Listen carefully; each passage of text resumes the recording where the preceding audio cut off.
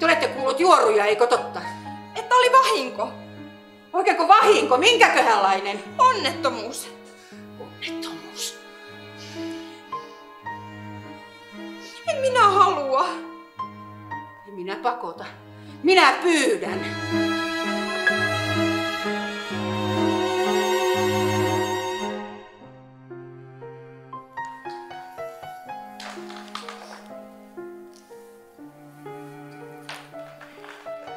Olenko minä sanonut tai tehnyt jotain?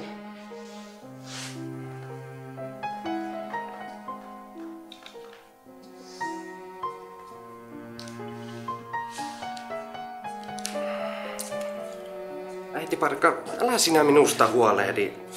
Minun täytyy vain ajatella asioita vähän tarkemmin. Mitä asioita?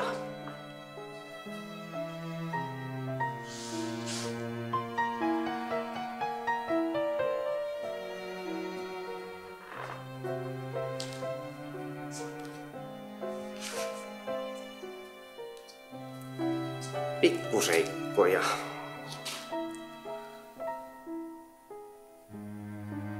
Mitä nyt? Ei mitään. Ei yhtään mitään. Äiti. Niin. Kaikki on hyvin. Onko?